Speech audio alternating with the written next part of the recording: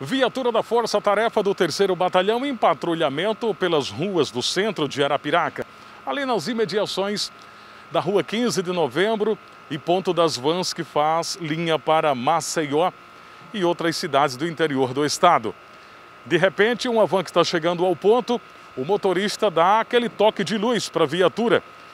E, lógico, voltaram para averiguar o que estava acontecendo.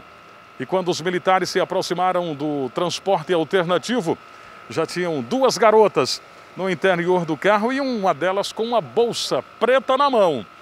Resultado, uma pedra de crack de quase 400 gramas. Foram trazidas aqui para a central de polícia. E prestem atenção na história das duas jovens. Emily Vitória, 18 anos de idade, e uma menor de apenas 15 anos.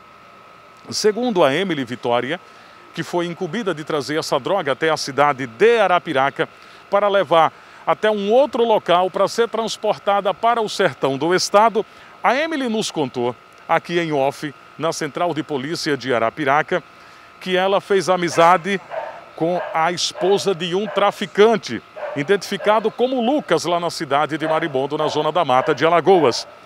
E aí, precisando de dinheiro, ela disse que veio trazer essa droga até Arapiraca para ganhar 100 reais para poder fazer uma viagem para Maceió, a capital do estado. O que deu tudo errado, presa em flagrante e a menor junto com ela que foi apreendida. Nesse momento elas estão aqui na central de polícia e serão ouvidas e passando mais informações justamente de para quem essa droga seria entregue aqui na capital do Agreste Alagoano. Marcelo, esse é o nome do homem estava encarregado de receber o entorpecente num ponto de vans que faz linha para a cidade de Olho d'Água das Flores. É isso mesmo que vocês ouviram. Marcelo, que estaria no ponto de vans que faz linha para Olho d'Água das Flores, era quem ia receber esse entorpecente.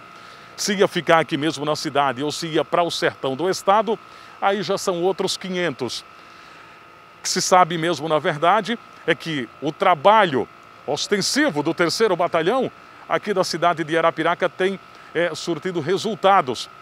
E na manhã de hoje, justamente esse entorpecente sendo tirado de circulação e as duas jovens agora terão muito que explicar para o delegado de plantão. 380 gramas de crack e ela estava ganhando 100 reais para fazer o transporte desta droga. Sendo comercializado, a gente calcula aqui que ia dar uns 1.500, 2.000 reais, quem sabe? Porque para ganhar 100 para vir de Maribondo até aqui, logicamente que o lucro tem que ser 10, 15, 20, 30 vezes mais para poder, logicamente, alimentar todo esse sistema do tráfico de drogas e pessoas que ficam por trás disso e que geralmente não aparecem e muito menos são identificadas é quem lucra com tudo isso. As imagens são de Antônio Pinheiro. Aqui da Central de Polícia da cidade de Arapiraca, reportagem Walter Gomes.